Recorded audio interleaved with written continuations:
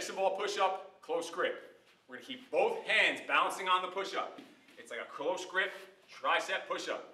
We want this coming right into the center of our chest, elbows tucked in. A little bit harder, put your feet together. If you need help with the balance, put your feet apart. So harder together, elbows tucked in, balance your hands on the ball. Elbows tucked into the side, lots of triceps, all the way down to your chest taps that ball. Body stiff as a board, tons of core work. Think of that like a moving plank. Just as much abs as it is chest and triceps.